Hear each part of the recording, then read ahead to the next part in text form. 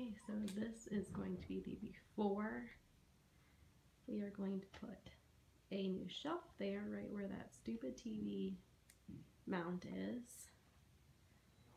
So again, kind of a different angle, but this is the before.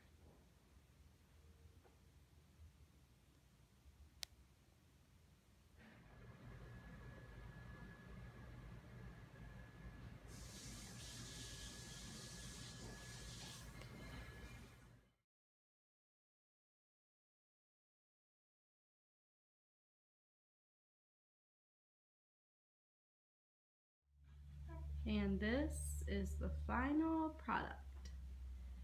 So Jason removed the um, TV mount and we discovered that it was not painted at all um, and he used the wrong anchors and everything so the wall was pretty beaten up. Um, we went ahead and patched that all up. I was actually able to match the paint color and then Jason actually built this little mantle here. So we don't have a fireplace in the house. I really wanted something um, like a fireplace that we could hang like stockings and all that fun stuff. So that's what Jason made. All right, bye guys.